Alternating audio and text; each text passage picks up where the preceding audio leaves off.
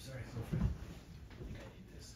All right, so uh, thank you all for uh, coming. I, um, I can imagine giving up a six o'clock hour to be here at this point after you've all had a very busy day.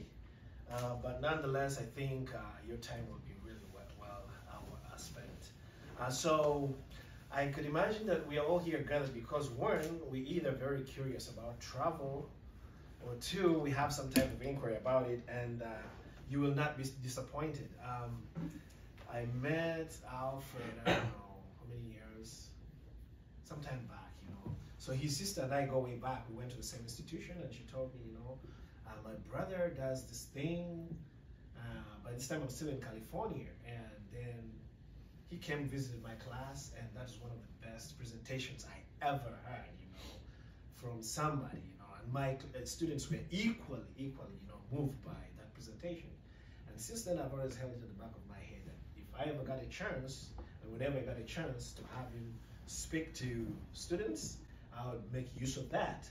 So, um, without taking too much uh, of uh, your time, I'm going to invite uh, Wilfred. Um, you've seen uh, the flyer. Uh, he's a man with so many accomplishments. You know, for me as a black man, and look at another black man who has scaled, you know, Everest. I'm like, wow, what a fit. You know, that is not something we Africans do.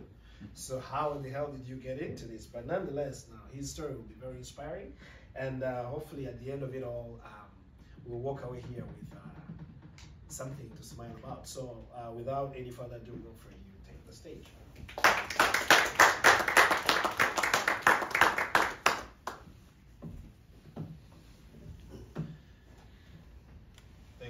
You, Uh, as I've been introduced, my name is Wilfred Moshi.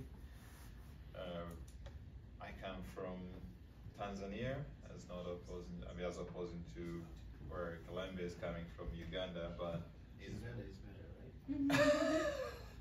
uh, it, it depends. It depends how you look at it. Has anyone from Uganda been on top of Everest? No, that's why because you're coming from Equator, it's too warm there, and you cannot stand the cold. I, I guess. That's true. Nevertheless, uh, just a short story about myself. Um, I come from Tanzania, and uh, I am a mountain guide by profession. I started climbing mountains when I was about 16 or 17ish. Uh, then I started as a porter to go up on Mount Kilimanjaro, but mostly I did because I, it was for me it was for earning cash, and it wasn't something to do as a fun thing to do or anything very interesting to do. So my friend took me and said, "Oh, you should come and climb Kilimanjaro with us." I said, "Okay, fine." And then I went. It was awful. I saw and I was not really happy. I I said so many things I would never wanted to do again in my life. So, but then he said, "Well, this is one-time thing you can do, and then you get used to it." Uh, then I kind of like it after a couple times, and then I became a guide. So long story short, I will just go ahead and then uh, talk more about what I'm going to talk tonight, and then uh, you get to hear more about myself, and also you get to hear about our story uh, in Africa. Uh, Tanzania and Uganda are, have been friends for a long time, uh, since the, uh, the Obote time. They're one of the earlier president in Uganda, and we supported even uh, some of your some of the movement in Uganda getting independence. But uh, we just we're friends. Uganda don't speak Kiswahili. They do a little bit, but we have many languages in Tanzania. Tanzania has about 120 tribes, and we have more than 200 dialects. Uh, my dialect is Chaga, but the people you're looking at, these are different tribes. Those are Maasai, these are Datoga, these are the people who speak the Click language. Those are pastoralists, or like uh, um, or the Karamojong in Uganda. But uh, in, uh, in Tanzania, we're so blessed with so many things. The tribes, the land, the national, and this is the mountain where it's on the back of my house. I can wake up in the morning, brush my teeth, and look at it. And some people around it, they're like, what is up there? Why all these white people are going up there? are you sure they're just climbing or there's nothing there? I say, yes, I've been to the very top of it. there is nothing apart from glacier and there are the excitement of being at, the very top. I'm married with uh, four children, and uh, I've been guiding on Mount Kilimanjaro for more than 22 years. Uh, the climbing on Kilimanjaro took me over to climb on Everest uh, in uh, year 2012. Uh, then took me over back in US a couple times. I've been traveling back and forth in US for over 22 years now. Uh, I went to New Hampshire with one of the friends that uh, I led on Kilimanjaro, and we crossed the whole presidential traverse in one day. It was brutal because uh, a short story of the uh, presidential traverse uh, is he's a one of my Everest sponsor. So when he was doing we're doing Kilimanjaro, he asked me, "Can I go to the ash pit in the center of uh, Kilimanjaro?" And say yes. And this is like at the very bottom of the mountain, and uh, I knew he was he was gonna well once at the summit he's tired and what are the chances he's gonna want him to go I was wrong he looked at me at the summit like shall we go? And I was like ah no. But anyway we'll come into that one. But uh, uh, I've been guiding for most of my life uh, and I attained my formal education as a, a, computer technician and I work as a computer technician, but then I diverted to being a guide. Then I summited Elbrus in Russia in 2014, and then uh, and I look forward to my upcoming Greenland trip, which I've been training for the last couple of weeks in Ely in Minnesota. Very, very cold, which my wife wonders why am I there. By just on a map, this is Tanzania in a, in a red there. Uganda is up here. And Kenya, Somalia, you go all the way. This is Europe over there. But Mount Kilimanjaro is the highest mountain in, the, in Africa and one of the seven summits. If you, I know maybe some of you here will understand when I say seven summit. Or we have seven continents around on the world, and it's a kind of a customary or mountaineering traditional thing someone wants to climb all of the seven summit, highest peak on each continent. And to name them, uh, they're with the order of the highest one, Everest is one, number two is Aconcagua in Chile, number three is the one in US. Anyone have an idea? No. Yep. And Kilimanjaro, uh, then uh, Massif Vinson in Antarctica, and uh, Carstensz Pyramid in Papua. Then Kilimanjaro of the seven is the most easiest mountain in terms it's less technical. You don't require any technical skill to climb Kilimanjaro, and uh, it's regarded of a highest freestanding mountain. That is not a range of mountains. It's just like one mountain come up and it stand on its own. Uh, when I started as a guide, I, as I said earlier, I started Kilimanjaro in 1990s. Uh, then I, due to my determination and the help of other friends, I was able to go up and then become a guide.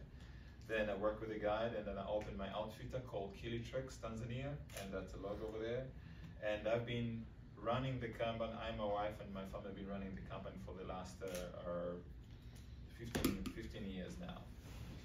Then I recently, my son and I, we have been on top of the mountain because this is me trying recruiting him to see where he's gonna like. His passion is to become a pilot, but uh, he is interested to see where I work, where I get all the school fees and other things. So he started as a he came up on a mountain with me as a as a tourist, and then uh, he tried again as a porter, which to him it was very difficult. He went back home. This is him. He went back home and told his mom like, it's a very hard job and I don't want to do it ever in my life. I said, but yeah, but he likes it. But now he's taking he's taking care of most of the stuff. But that's part of the Kilimanjaro. We'll come back to it later. But my journey about Everest. So this is the Everest. It all started uh, about 2008 when I when I met the first African to have summited Everest.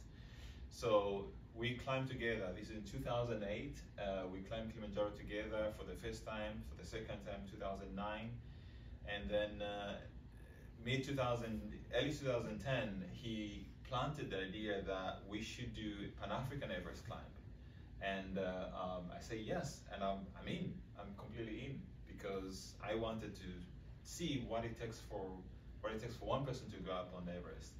I've never been to such a big mountain. Uh, I knew it was dangerous. I knew it was most difficult, but I wanted to test my new level of experience, new level of uh, um, challenge, and then see where uh, it will take me. Locals depends on where you look at it. In Nepal, uh, they call it uh, Sagarmatha, uh, which means uh, the forehead. In uh, Tibet, they call Chomolungma.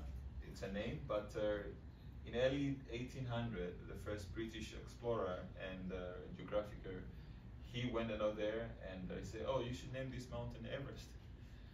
Uh, there is another similar story to this one where Kilimanjaro, the first attempt was in 1889, but earlier in uh, 1600, 1700, Queen of England gave Mount Kilimanjaro as a birthday present to one of his sons, which that was kind of uh, something interesting. When you look at history, when you look at the colonial time, uh, kind of things interesting. And the same applies here uh, with uh, uh, McKinley, which was the previous name, now called Denali. Uh, but for me, coming from Tanzania, I got so much turned down when I was looking to go to Everest. When I, whenever I went out to look for the scholarship, uh, actually sponsorship, everyone say, what are you gonna do there? This is a white people business. You, African, we know for the mountains. You should just go to Kilimanjaro to get your money. So I went around. The initial sponsorship came from one of the member of the group that I was leading Kilimanjaro. I was asking questions. So this was me planting the seed about wanting to go to Kilimanjaro, to Everest. And uh, I was told I would be leading one of the uh, one of the group, which it turned out this the CEO of Adventure Consultants was one of the member in that group, and he was uh, actually one of the leader in the group. So I was asking so many questions about what it takes to climb Everest and uh, so many other questions. One of the members in the group said, uh, Wilfred, Wilfred did a very good job and uh, we'll happily sponsor his exp Everest expedition. And that's how all the sponsorship came in. Then I had to look for half of the, of the money, which was another Everest for me to climb before Everest because it's not a thing in Africa. It's not a thing, as uh, Glenda said, uh, it's not a thing at all for us because climbing mountains is not possible. Not to, not to mention when I tell some of the uh, European and American friends I was going to go to climb Everest, they say, you've never experienced any cold. You're coming from equator. It, you are talking of minus 30 degree. You'll die out there. Don't even try. So those are the kind of things. And uh, I, I was told but got so motivated along the way and say, why am I being so scared about this thing? Me, this, I think I want to do it now. I want to prove this, it can be achievable by someone. So I worked my way uh, from, so the initial sponsorship was put in in uh, October 2011, and I had six months to raise the rest of the half. We're talking of 60,000 grand. So half was put it in, and half was had to look for. Not to mention about gears, not to mention about everything. But the question was posed to uh, the CEO of the adventure consultants by this guy, say, what do you think about Wilfred? Based on what he has done on Kili, do you think he'll be able to climb Kilimanjaro? And he said, yes, he will. We want to put money on him. So I managed to raise enough funds, and one of the one of the story is a guy who lives here in Boston. Uh, I told him, say, look, we can go to the ash pit of Kilimanjaro, and uh, it's fun. It's very good to look at it and say, oh yeah, I would like to do that. I would love to do that. Not knowing that he meant it and it was a business for him. He's super. He's a he's a very active guy. We go to the summit, 12 people, and just one person look at me. Can we go to the ash pit now? and I say, uh, yes. I say, but you promise you take me. and say, okay, I'll take you, but we have to be quick because we need to join the rest of the group down. What's the ash pit? Ash pit, so when Kilimanjaro is a volcano mountain, uh, since the volcano mountain, when last time was erupted, it erupted and caused a core center to stay open. And that center is called ash pit. And that's where you you you see like there's a plug-in, there's a big hole. I've been there several times. Like to the edge down there, it's about 60 to 100 feet down. It's a very deep down, and it's so wide. It can be about a mile point seven, a mile point six wide. So we're talking a very, very big hole up on top of Kilimanjaro. And the highest point on Kilimanjaro is one on one of the bank, and you stand, and that's the highest point. That's the recorded 19,340 feet. Just a little bit less than uh, Denali. That's why it's called Ashby. So the idea is you come from the top, you go down, you go up, and you stand on Ashby, overlooking down Ashby. And it's a very, very beautiful area. But once you've been walking for six hours from midnight to get to the top, it's the last thing you want to do there.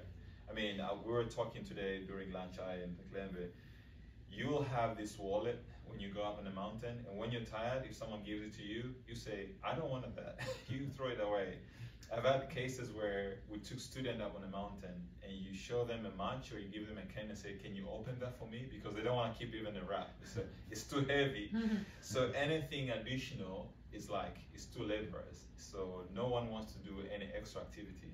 So I took him down and uh, we came out, we went down, we met with the group. He was so happy. Previously, I, I had mentioned about my Everest expedition, and uh, he said, Hey, Wilfred, this group here will give money for you to go to Everest. If you ask them, how did you know? I say, I know them, I'm from America, they'll give you money.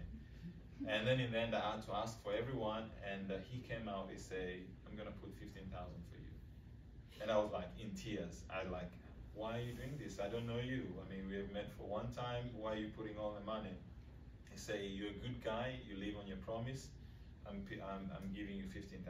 And uh, that topped up everything on my trip and trip happened. So this is me in uh, arriving in uh, Kathmandu, getting ready for my expedition with all my gears there. Some I got sponsored by uh, Eddie Bauer in Seattle, the company, their clothing company. Some I got sponsored by the AC and this is the travel from Kathmandu. We fly to Lukla. This is a small uh, airport, which is really, really interesting. It's it's set up on the ridge side, so when plane lands, it has to tax before it hits a big cliff. Otherwise, it's done. And when taking off, it's taking off to the edge. So pilot has to take off before getting to the very edge. It's a very interesting place. And uh, traveling from Lukla to our Everest base camp is about nine days. And we travel through the village and uh, we'll stop in the tea houses. We have all these bridges. It's a very fascinating area because with all these constructions, there are no roads, there are no motorbikes, there are no bicycles. They use people, they use horses, they use yaks. They build all these hospitals. You see a woman carrying a baby, going to the clinic. You have all these a farm, they grow potatoes uh, along the way, there is a tradition to pass by monastery to get the blessings. And this is other thing I learned when I went to Everest. Uh, I'm, I'm raised Christian, Catholic Christian, and uh, in Africa, when you when you look at the different religion, you don't divert. You're Christian Catholic, you're Christian Catholic. And I was there, and I was like, okay, we have to go to the monastery to get the blessing to get the passage of the mountain. And I'm like, oh, I think I think I should do because I want for my safety. I pray, but I want for my safety to be safe. If these people are doing this, I should follow. And we'll we'll go to the to the Buddha and then get the blessing, ask for the blessing, and he does the prayer for you. You kneel down, you bow your head. He put his hands down. He put the white the white clothing on the on the neck, and you have to to give some uh, anything as a gift to, to thank him. But the travel from Lukla to the base camp was quite interesting because one of the time we'll pass through the village and the kids will go to school. They run down the hill, up the hill, and we're walking slow and struggle. and it's like looking at us, waving. It was quite interesting. We, that put it us in a situation say, oh, so you could be accustomed to this kind of a life. It's just we think everything is so difficult, but they're doable. And those houses you look at there, that's called a town called Namche Bazaar where there are banks, they have internet, they have everything out there, but there is no road, no motorcycle, no bicycle. Everything is uh, improvised by human. Then we hiked all the way to the base camp and we arrived. We got a nice invitation I was so surprised when I got there because I, from Kilimanjaro point of view, we usually set up these tents and there are nothing big like that. Like you have a couch to sit on, uh, but I guess they do that because this is where we'll spend about a month and a half to get acclimatized, to go to the top and back and down. Some people they ask me, so how long did you take you to climb Everest? And there, some of them know about Kilimanjaro, knowing it's about seven days, six days, and say it took me 54 days. It's like, what? And say, yes, 54 days. And you need this kind of comfort to have around you when you have to sit around for quite a time to wait for the good weather. Not to mention trainings. Uh, we had to do ice training because I've never done ice climbing before. So I had to do some of it at the base camp, but also for the good of the guide, they have to make sure everyone has a knowledge of how to do all these things when it comes to the high altitude. Not to mention to test all the oxygen gears, plus to do the puja, puja prayer. This is something you have to, it's another thing uh, with the Buddhism, you have to ask for the mountain goddess to give you a passage, a safe passage to go up to the top and back to the, back down uh, uh, after summit. Then the, the climb up to the summit start, actually the rotation, acclimatization rotation. So, first of all, there are about three weeks of going up and down. You do camp one, so from the base camp is 17,700. Camp one is about 20,000 feet. So you go to camp one, you stay there two nights. You go to camp two, you stay two nights, you come all the way down to base camp. You stay another days there and you do the same procedure three times.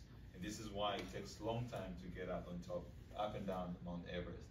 So, and along the way, you pass all these area, like Khumbu Icefall, you pass, you pass the, um, the Camp One, whereby it's very vulnerable with, it's like in there, are enclosed basin, there is Nuptse, Lhotse face, and Everest, uh, uh, eastern, eastern ridge above you, where chunk and big chunks of snow or glacier can fall down and then just bury anyone in time.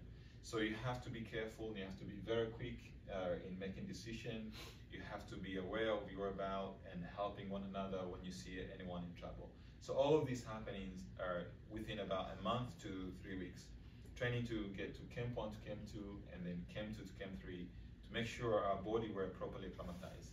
Then finally we do um, a summit ascent Along the way, we came across someone who got really sick. He got struck. You see these chunks of uh, glacier here. This guy was hit by glacier, and uh, they wrapped him in a sleeping bag and mattresses, and they tried to lower him down to get to the red to the camp two so that he could be rescued out by helicopter. But life up, life up on there. Uh, from Camp 3, this is where we start using oxygen. And this is when you go to bed, you have oxygen next to you, oxygen tank next to you. When you walk around, that's a south col, Camp 4, about 20, uh, about 27,000 feet. You go around to pee, you have your mask on, you have oxygen tank. It was like a very weird situation, very weird life. And I was laying down in a tent, looking out. I was like, so strange here. I mean, you don't care what people look at you. You do your business anywhere. That's the least thing you want to care about. The most you care is just make sure you're surviving there. This means to survive is so rare, it's so small that everyone do their own thing around and nobody care. And you see people walk around like zombie. To walk from here to the door, it will take you at least five minutes because someone is so slow out there. We're talking of 27,000 feet. So that's life there. And you're, you're, you're getting ready to go to the summit. So we'll, we left base camp on uh, 12th, around 12th or 13th of May, and we arrived Camp 2. We spent two nights there. We went to Camp 3, and Camp 3, you we sharing tent with, uh, I mean, two people sharing one tent, and and this has to be someone you have been together for quite a time. Usually, before we start to go to base camp, they'll try to pair people uh, at the hotel, say maybe X and Y, you can be together, so and so, maybe you can be together. That way, you may be able to spend uh, the night or a couple of days up on the mountain together in one tent without fighting or killing one another. because what happened came to Camp 3, it's sloppy like this, very steep. There is no, at any point, you're gonna walk out of your tent without harness, climbing harness, and crampons. And you have to be on the rope. The moment you do that, it's a really, really situation that you have to go out. So what happened, if you have to go number two or number one, you do in a tent vestibule. This is why you have to have a tent mate where you can get along well without having to fight, without having to have anything. And you can help one another in a kind of a, when it comes to a situation. So I had a friend, I mean, uh, I shared a tent with a friend, now a good friend from London, called, his name is Neil. And uh, we had quite some fun time together and he had some rough time, I had some rough time, so we helped one another.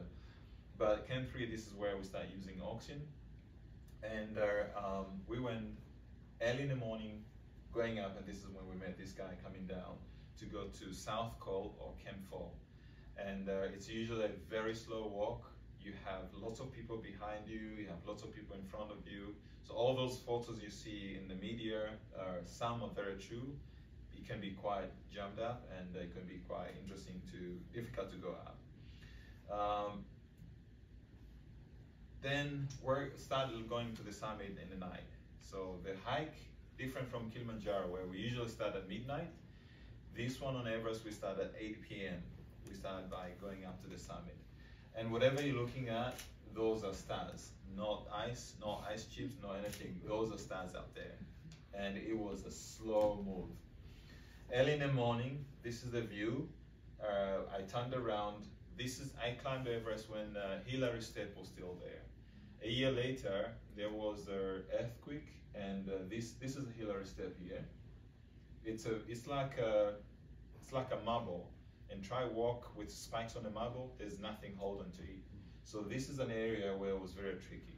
when, you, when we came here, there are like at least 50 pieces of ropes together, and you just because you don't know which one is the new one, which is the old one, you just hold like five or ten of them together. and you just have to climb up because you cannot use your mechanical climber, you cannot use your crampons, you have to pull up. Remember, we've been walking from the night, this is the morning, and this is like 20, already talking about 29,000 feet here. So this is like going here and your crampons are not holding on anything, you just have to hang on a rope until you get over to this ridge because the summit is just around the corner. It took about 10 to 15 minutes to walk 10 meters. That's how slow you get when you get up there. And this is me turned around and look like, oh yes, that's scary but hmm. beautiful, beautiful. Then you arrive at the summit. All, all you got to see is on the other side, and I had a picture before uh, from from internet, and looking at that area, you look like it's just like this podium standing ten people all together, and like, oh, I should get moving. But then, I think you have the moment to celebrate, you have the moment to take picture, and uh, I tried to take my mask off to test what it feels like. I didn't last long. I was like, okay, I think this is good. About three, four seconds as I was good to to to breathe in out. Then we took picture and start going down. The going down was nice and easy at one point, but once after 15 minutes, that that uh, excitement kind of died down, and uh, motivation to go down kind of die completely, you feel like, I think I'll get down when I get down. But guess what? The most difficult part is coming down because you, I was no longer motivated. And that's the case every time. I see clients on Kilimanjaro every day. I will take them up to the summit. On the way down, some of them, I think you can go ahead, I'll catch you. It's like, excuse me? yeah, you can go ahead and I'll catch you. I said, well, I'm fine on the back here. this is when you know someone is not thinking right. This you know someone is really tired and they want to take a rest, and you like you're bothering there. But you need the self motivation and self drive to continue going down because it's life and it's dangerous to be out there. Coming down on the Everest, I I got on the south summit and I had to sit down. I told the guide, I don't think I can walk down. And he looked at me. he, this is what he told me. He looked at me and said, oh, I think you need to try to to get down. And uh, I close my eyes, and say, why am I talking here? And I reach out for the staff to eat, and I ate and I ate, and I drank some water, and I start walking down. As soon as I hit, I had the balcony. I start seeing things, and like one of them was like colored stuff, and I properly look at it. It was a dead body of someone like years ago, and I was like, oh my god, I think I don't want to join these people here. I want to go down. And this is what got me motivated. And I walked down. I never stopped to that moment until I got to the camp. Then we arrived at the camp. Everyone was safe. We stayed there for one night. The next day we went down to Camp 2. And after three days we went down to base camp, had a celebration. Again, you, we have climbed Everest and we're there down at base camp 17,000 thinking this will be fun and uh, we can just do whatever we want to do, but it wasn't. I mean, we're dancing to music that uh, they put it out to close as a ceremony to close their uh, their climb. It wasn't easy. You dance for five minutes and like, oh, why am I even dizzy here? yeah, you're still high. So that's a bit of uh, Everest, but uh, also like to touch upon a couple things and uh, this is why do people travel and this is me why why I've seen people traveling coming to Kilimanjaro I see the two terminology traveler and uh, um, travel and adventure I think they're either kind of the same or another but they carry different meaning travel is someone adventure is someone looking for something unknown travel is someone who has an itinerary but I picked up this uh, our uh, saying from uh, Saint Augustine, the word is there is like a book. If you don't travel, you've read only one page. And uh, people travel for different reasons, uh, either for, for, personal growth or for self-discovery. Uh, when you go out to do challenge thing, you learn about yourself, about new things. You join people, either you're going by a group or you go with a group of friends. Sometimes you're used to go out every day or you meet sometimes down and then in a class on in school or out somewhere. But when you go out in a field, people tend to be more open. People tend to be of themselves, truly themselves, because they're no longer with a phone. They're no longer on the internet. When it's time to think, you open your mind and you think properly and you share ideas, you share laughs. And when you come to um, learning and discovering obstacles, it, it, it is something that uh, you can do that through different challenges. And this is climbing mountain.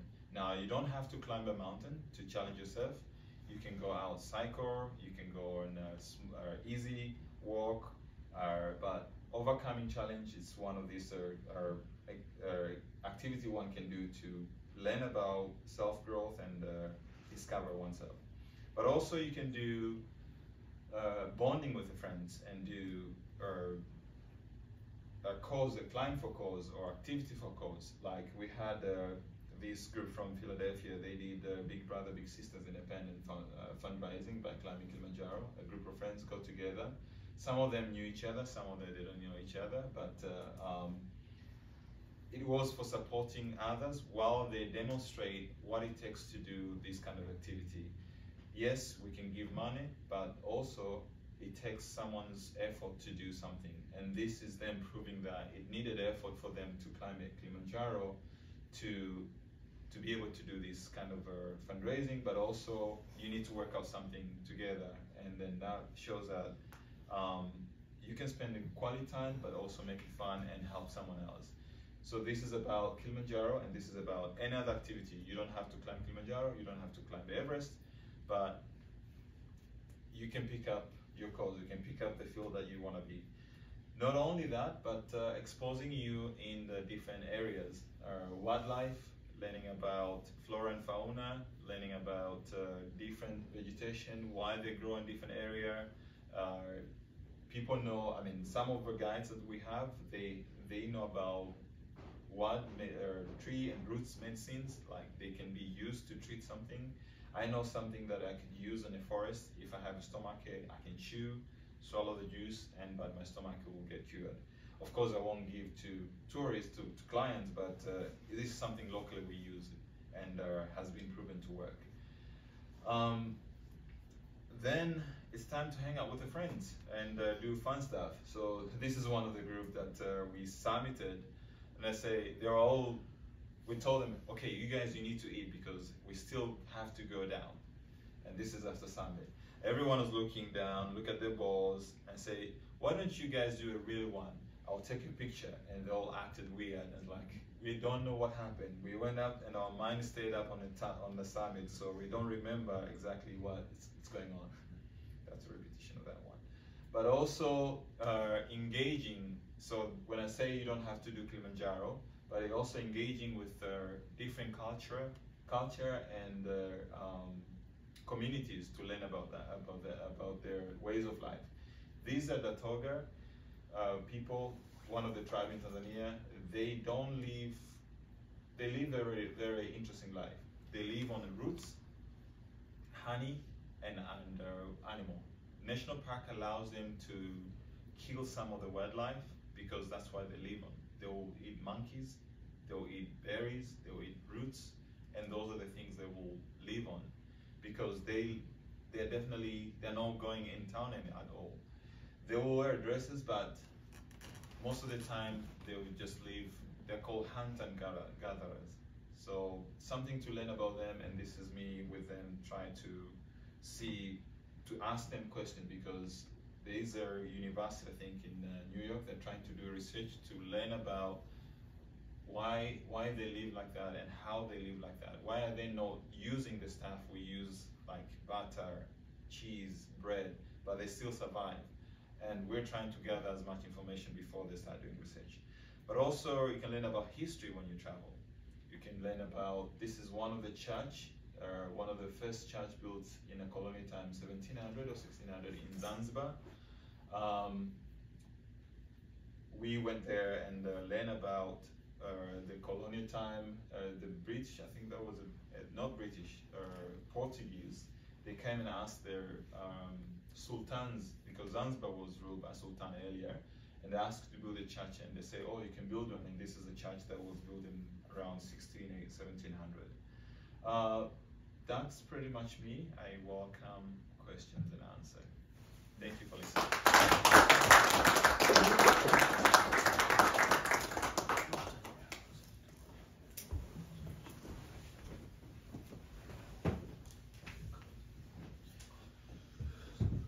Gus, let me see. Any questions?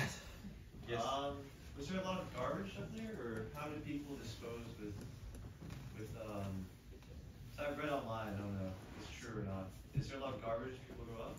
On uh, Everest? Everest, yeah. Uh, no, because uh, right uh, during my time, and I think this is a practice, this is a continuation of uh, practice they've been doing, that uh, every company has to deposit at least at least two thousand dollar, and uh, upon return they have to show the trash that they've uh, produced, uh, including the oxygen bottles, because earlier those are the stuff that have been left on the mountain quite a lot. After oxygen use, it's an empty uh, aluminium or um, uh, what's other material they use whatever other material that makes the light, they will leave that there because they're no longer uh, usable. But Nowadays, they request all company to bring all the bottles, and they're counted before they're taken out, and they'll recount them on, upon return. Plus, another other kind of trash that will be produced. Base camp is cleaned by most of the time there are shepherds, or actually yaks, which come in and out, bring uh, loads of the base camp, and I've seen uh, yaks carrying trash to take out of the mountain. So it's pretty much clean. However, recently I was reading news that uh, they're trying to impose maybe this spring uh, uh, season they will ask everyone to bring their poop out.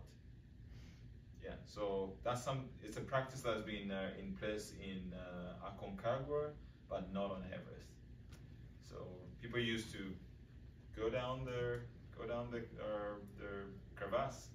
So they say water is becoming more polluted, and they they are going to request whole expedition to make sure their clients bring their work bag down into their base camp and uh, there'll be trash management down there. yes. With like ascending like such obviously like not just high altitudes because obviously like the highest altitudes, but when does does your um do your meals change the higher you get up like what you eat for source of energy? Yes, the meals change, but mostly they use a dehydrated food because uh, it takes longer to reduce the amount of weight uh, needs to be brought up on the high altitude, particularly Camp 2, Camp 3, and Camp 4, they, they bring a dehydrated food. And uh, the food is high in fat and carbohydrate to make sure it, uh, it, it produces enough calories to make one continue. Yes. Uh, so you touched upon uh, traveling as like a, a moment of like self-discovery and realization, and assuming that summiting Everest was a different experience than your 147 plus exhibitions of Kilimanjaro. Uh, what did you discover about yourself in this particular trip, or was it more of like a reminder of a of a dis, uh, discovering moment that you've had in the past? Uh, I have discovered many many things, and one of them is um, I thought first of all I, I didn't know I could climb I could do ice climbing. That was number one. Number two, I never thought I'll be able to do such a difficult thing because I remember there were so many times on Everest I wanted to give up because either uh, it was a it was a 90 degree uh, glacier wall to climb, or it was too cold and I couldn't sleep in the night. Uh, and another one was breathing through the oxygen. But also, um, uh, I had a, I had the same mindset uh, previously that uh, before even climbing Kilimanjaro, I had the same mindset that uh, these things are made for white people because they have been coming to Kilimanjaro. They're the only one coming to Kilimanjaro and climbing. Locals, I mean, I have a relative who climbed Kilimanjaro and he went on a uh, write an article in the newspaper. But before did that, he went and asked for statistic. The number of locals who climb Kilimanjaro do not account to five percent of the total number who climb Kilimanjaro. So that tells me like these things are we we are we are stereotyped that these things are made to be for certain kind of people, and that has even proved to me more that oh yes, these actually there are things that can be done by anyone who is determined and who wants to see the world in a different eye. Of which now, as I said earlier, I've skied for the first time in my life uh, about two to three weeks ago, which was quite fun. yes. Um, you mentioned you were a Catholic. Um, during your expeditions, was there a spiritual mode with God, or I don't know? I guess in moments of doubt, did you call upon God? Uh, yes, I remember particularly uh, one point. I remember the rest of my life uh, being in the middle of the glacier wall, not being able, not being able to continue up and not being able to continue down. And uh, I was like crying, and I started praying and say, okay, because I knew if I let my self, I have to hang on a rope, and there will be only for few seconds before I let go because it will be burning my hands and everyone was shouting to me, "Go up, you can do it! Quickly, we're getting cold down here!" And someone was like, "Lil, get off the rope! We, we want to come down. Get off the rope!" Like there was like noise everywhere, and I was like crying, and everybody, someone I, I could hear someone saying, "Wilfred, you can do this. Remember, your crampon steps, your crampon points has to be straight, not at an angle." Because I was trying to be smart playing physics as I'm trying to learn new things, like, oh, maybe I should dig this way on my point and I will hang on, but that's just digging like this much and I will come, of course, will not carry my weight. And digging that way will not even do a thing. And trying to hold on to the rope and climb with my hands could only do me good for 45 seconds because my hands will be tired and I'll never be to, to walk up. So those are the moments, that's one of the moments I remember very vividly. And another one was coming down when I was sure that I wasn't gonna make down because I was so tired. And I was like, how can I die here, God? Because I have my family and uh, good thing most of people who most of people who knew me, they never got got an idea, a full idea of what was happening, except my sister who then kept ringing the company down then. Is my brother alive? and she told my mother, and my mother, she cried and asked me, "Why did you do that? you could have died there." Yes, so there are moments that I had to uh, pray and ask uh, God that uh, I get down safe. But definitely, uh, I rely also on whatever they uh, believe in terms of uh, talking to the Buddha and the Buddha do a puja prayer and asking for the mountain goddess. They have like five different gods. They have god of wind, god of fire, god of or uh, what else? I lost those. I can remember about. They have like five goals. They have to ask them individually for the passage and make sure you return back safe. Yeah. There was any. Yes. Yeah. Um, so I know in the Everest region that the climbing industry has completely like revolutionized the entire area in terms of providing jobs and everything. Would you say the same has happened in the villages near Kilimanjaro and where you're from? Um, is there any like similarities or differences between Khumbu and Tanzania? Uh, there is there is a huge difference, but uh, Kilimanjaro is there's I mean there's not much you can compare because uh, Everest you're talking of traveling miles and miles away to the base camp. Uh, Kilimanjaro, uh, right at the bottom is the town. It's a city, uh, and everyone lives there. And the city has been in place since around early 1800. Uh, so there are Indians and Arabs before then, and then they came German, and it was so well developed. There was even a, a rally track that came from the coast to the to the area, whereby then became the. Think that was the Second World War when the British took over the country, and uh, um, the British stay on until we can regain our independence in 1961.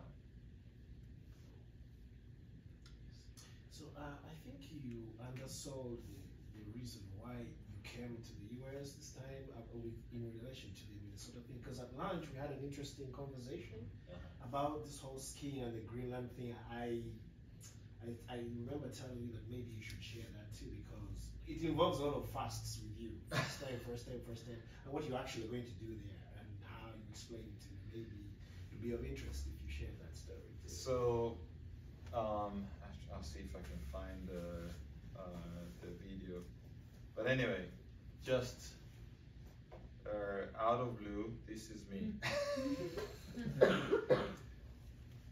this is me uh, in uh, one of the lake, a frozen lake.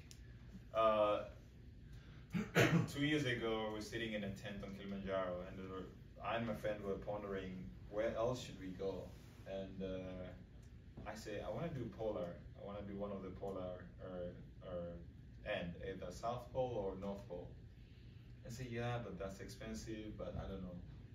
And then uh, I said, but what about Greenland? Well, yeah, that's I think that's probably doable. Until recently, when we started pondering and uh, coming into conclusion that maybe we should do Greenland, and uh, our it turned out my trip in US collided with a training they call shakedown. Excuse me.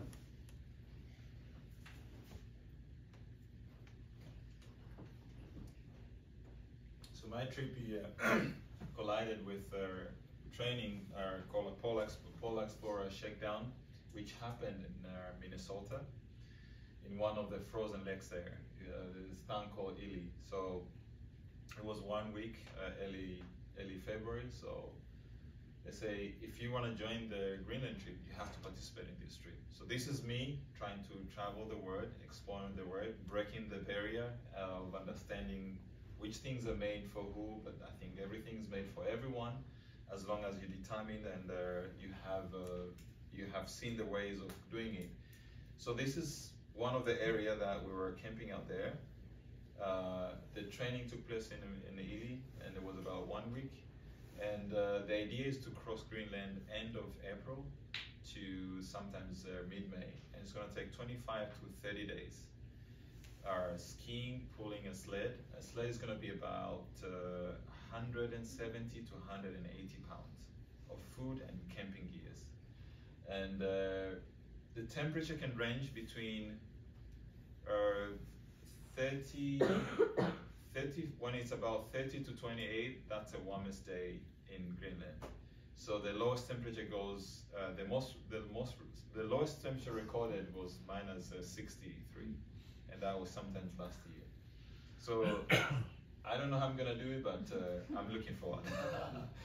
uh, I, I mentally prepared that uh, uh, this is gonna be like that, but also I'm trying to make sure I have enough clothing. But also I'm working with the sponsors now to make sure I, I can raise enough funds to take the trip on, but also to get all my equipment done. But it was it was a quite an interesting conversation with uh, Kilembe here, telling him like you have an opportunity here, or you can go out skiing and say ah I've tried it, I fell so many times, I think it's not a thing for me.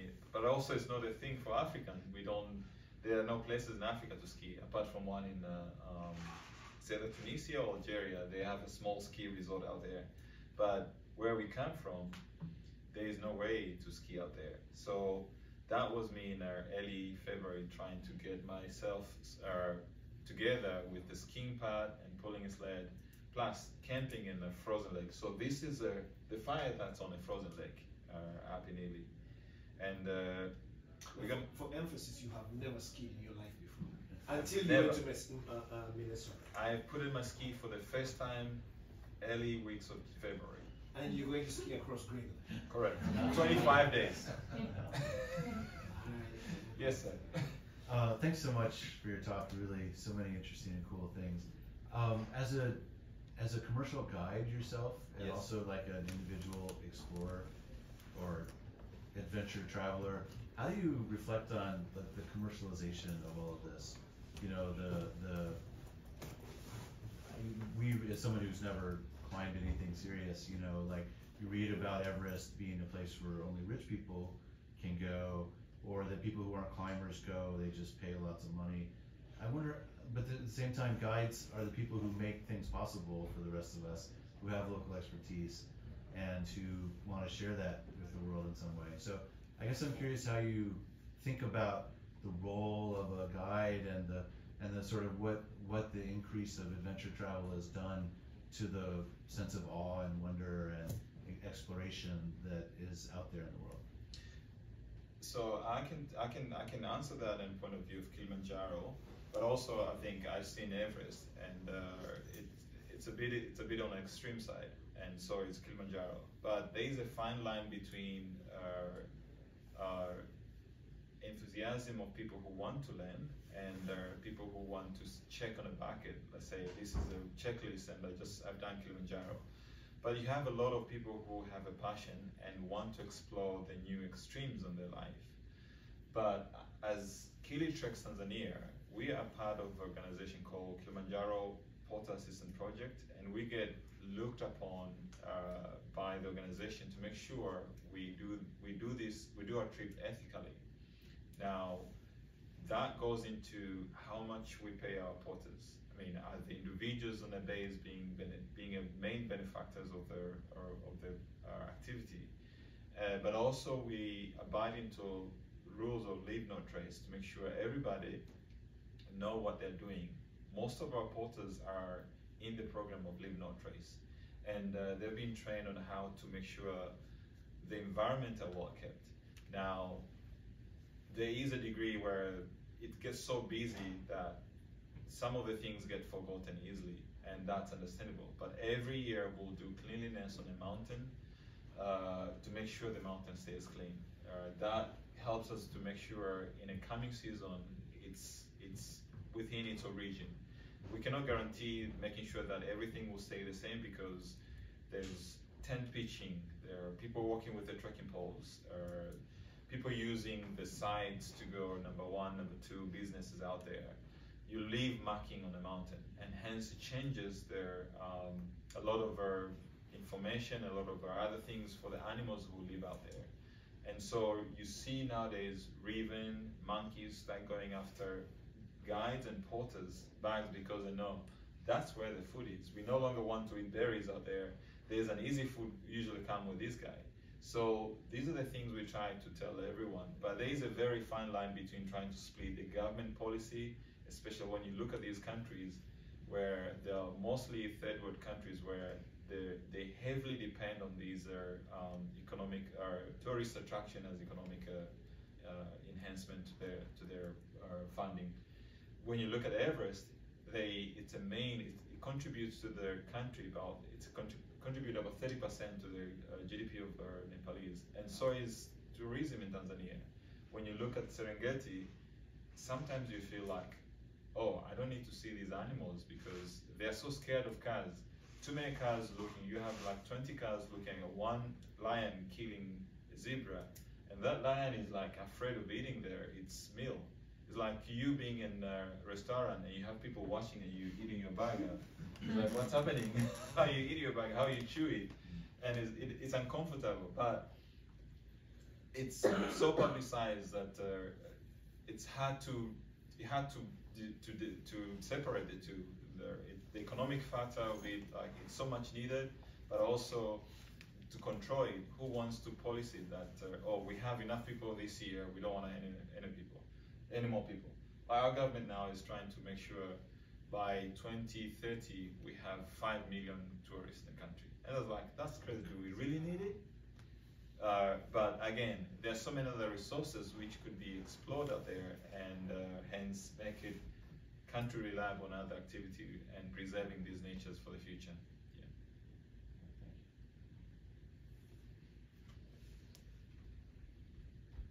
Question? I was trying to play your this thing stops. Doesn't want to do slideshow, I don't know why. There you are.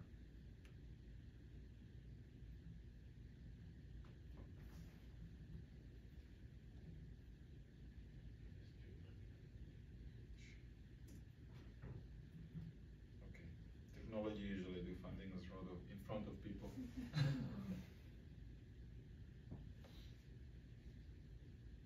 yeah. So that was me and nearly anyway. I'll, I'll see if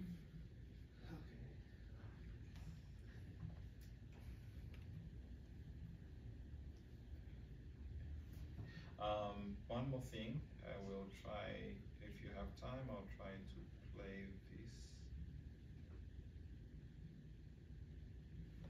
Just a small, I'll try a shorter version. Do we have the 20, 10 minutes? Hardly? Then I can play. Yeah.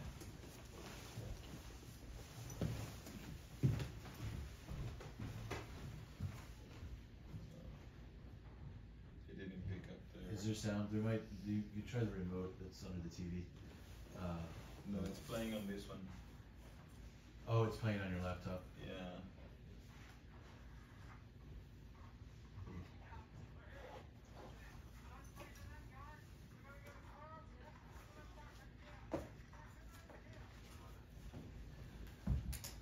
Yeah, so this was uh, this was me recording this going up, and uh, was a quite a good challenge. Uh, quite quite scary to cross those ladders. You may have seen in our, the new the new Everest season. I think they have they have they're showing how these ladders are being put up. This is just a two minute one. I have a longer version. Uh, this is me arriving at the summit.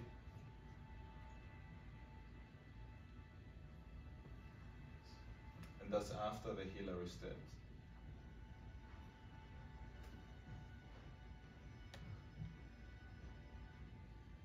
Yeah, you have to let go of the people coming down, and uh, you have to pass going up. Everyone is everyone is in rush of either going down or going going up. That's uh, sketchy. That's a part of the going up uh, before going to the summit called the yellow band.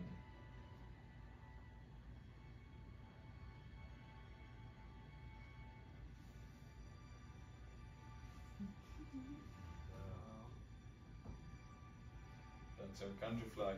So even this flag, so this flag says a lot, and I kept it. I didn't left it. People ask me, "Did you left it there?" I say, "No, I, kept it because it has a meaning with me." So because there is so much uh, unknown about us climbing mountain and everything, when I went out to the government and asked for the, when you ask, when Tanzania, when you ask for flag, flag is an uh, is a government thing. You cannot have a personal. So you have to go to officials to ask for one, and I had to go to ask for one, and uh, I was like, no, we cannot give you one. I say, but I'm doing this, and say, oh, yeah, but we don't have money for that. so I had to go around and other people, and I got get a, get a, someone who say, okay, we'll write you paper and then you can go get it. So this is me flying, flying in the afternoon and I'm getting the flag in the morning. Uh, not to mention that this is one of the organizations in UK that supported me. Not to mention when I went to one journalist to say, can this be official that I'm traveling as a Tanzanian to go to climb on Everest? I say, yeah, yeah, let me call someone. And they call one of the men in town and say, oh yeah, but can he buy the flag and they will hand it to him? And I say, okay, forget it. I'm just gonna go. Is it not a ritual to like uh, put a flag up there when you get there? You put a, those, the one you saw, the one you saw there, those are called prayer flags. Oh, those are prayer flags. prayer flags. So, and that's when I say they represent uh, different goddesses. There's a yellow, green, blue, white, and red. So you get that from. You get that from the bottom, and then you Oh, tie you tie there at the very top. Yeah, and you tie that as a part of the ritual to ask for the uh, the mountain goddess to give you a safe passage on the way back. So there are no country flags up there. No, nobody. You cannot. You cannot even stay. Oh, okay. it, because it's so windy up there, very windy. Those one they just tied on a rope around, and uh, every that's after every year they kind of keep accumulating, and then they will they get blown away also. Yeah. Another question here. Yes. How are you recording? I had my camera uh, attached inside, and I usually put my downsuit over. But I usually I, I will have it under my jacket, and I'll take it out, and I'll press record, and then I'll leave it, and then just do like that, and then I'll put it back. Is it hard to like move your fingers so very very very hard? hard because uh, you always have you always have mittens and uh, you have to have in gloves the glove liner you can never stay without gloves on and that's when you I do that quickly and then I press the record button and I'll go around buttons with my jacket and move on yeah hmm. but not with the phone because I lost one of my my Googles because I was trying. I had it. I had it here, and I was trying to do something with my eyes. And when I put my hand up, it flip over, and I watch it going to Tibet. Just like that. I watch it going to Tibet. So imagine you have your phone and you had your all recording out there. It was so I say, okay, I'm not losing my camera. Fully attached here with me, and uh, uh, if anything happens, then uh, I know where to get it. Yeah. All right, guys. Uh, I hope this was worth your time. I want to thank especially Maria, who's not here, Sophie, and Eric for helping uh, put this together. Um, when I thought of you coming, I was uh, I reached out to Eric, and he was very supportive and helped uh, you. together with Sophie and Maria Thank you, you Sophie. to really make this happen. And thank you all for coming and giving us this one and a half hours of your evening. And hopefully it was worth your time. One more time. Very much. Thank you very much. Are you good? So if you